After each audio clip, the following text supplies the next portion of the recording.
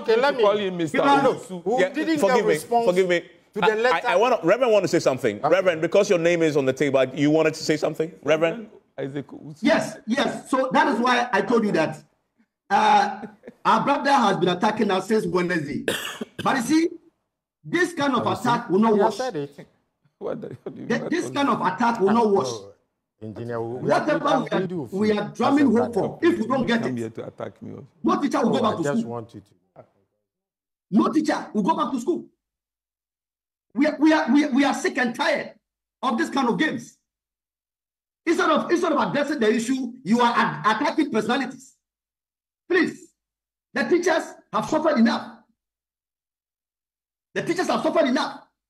And will sit down. We are, we are being accused day in, day out as leaders. No.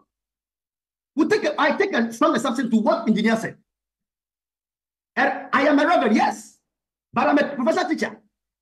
I pay my I pay my tax, and I'm a leader of a, a, a, a- a union.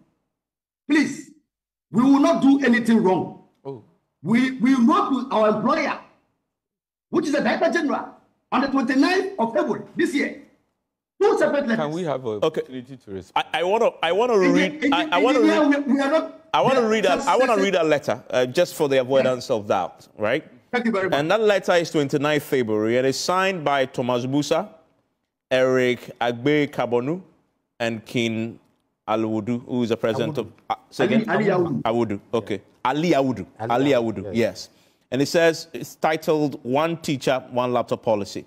We write officially bring to your attention that at a meeting of the teacher union leadership, it came up that there is an uh, uneasy calm and agitation by teachers who have not received their laptops and intend to advise themselves in the next two weeks.